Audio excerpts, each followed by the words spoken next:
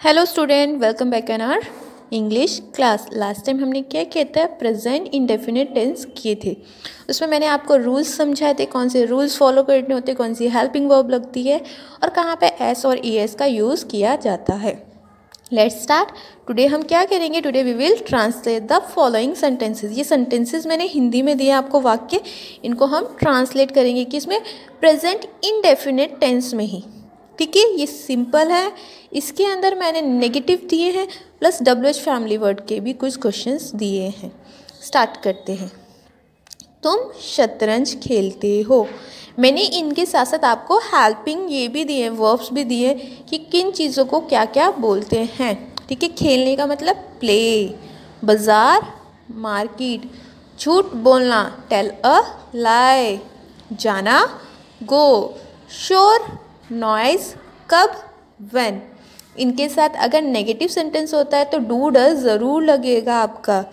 ठीक है? साथ में डब्ल्यू एच फैमिली वर्ड में यानी कि अगर वाई वेन वेयर कुछ भी आएगा, उसके साथ भी हेल्पिंग वर्ब ज़रूर लगेगी। फ़र्स्ट तुम शतरंज खेलते हो तो तुम का मतलब क्या होता है आपका?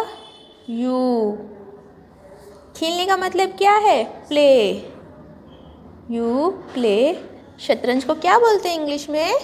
चेस। ओके? क्या बोलते हैं? चेस। तो क्या खेलते हैं? चेस। ओके? ये आपका क्या है? सिंपल सेंटेंस है। इसी तरीके से हम क्रिकेट खेलते हैं। आप खुद बनाएँगे इसको। यहाँ पे माँ बाज़ार जाती है। तो माँ कौन है? थर्ड पर्सन है। इसकी हेल्पिंग वर्ब में आप जो यहाँ पे वर्ब जो भी यूज़ करोगे, उसमें एस और ई एस का यूज़ भी होगा तो ध्यान से करेंगे इसे। ठीक है? तुम झूठ बोलते हो। तो झूठ बोलने को क्या बोलते हैं? टेल अ लाई ये आप खुद करेंगे। अब क्या वह शोर मचाता है? ये मैं आपको कराती हूँ खुद। देखिए, सबसे पहले अगर स्टार्टिंग में क्या वर्ड है तो इसके लिए हम वॉट यूज़ नहीं करेंगे। क्या यूज़ करते हैं? जो भी हेल्पिंग वर्ब होती है, वो। तो देखिए, वह कौन है थर्ड पर्सन उसके साथ डू नहीं यूज़ होता डज डज ही ठीक है, शोर मचाना मेक अ नॉइज़ ठीक है? तो ये क्या बन गया? ये बन गया आपका क्वेश्चन क्या वह शोर मचाता है? Does he make a noise okay then इसके बाद है कि मैं पुस्तक नहीं पढ़ता हूँ। मैं का क्या होता? आई पुस्तक क्या होती है? बुक।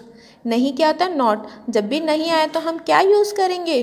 डू या डज का यूज़ करेंगे, यानी कि हेल्पिंग फॉर्म तो आएगा I do not study the book okay तो ये, यहाँ पे वे बाज़ार कब जाते हैं? ये आप खुद बनाएँगे। तो जितने मैंने आपको समझाए वो आप करेंगे। और बाकी खुद अपनी प्रीवियस वीडियो की हेल्पिंग वर्ब आप हेल्पिंग बॉक्स देखेंगे, साथ में रूल्स फॉलो करेंगे। अगर रूल्स आपको अच्छे से याद होंगे तो आप ये सारे ट्रांसलेट ईजिली कर पाएँगे। तो bye student have a great day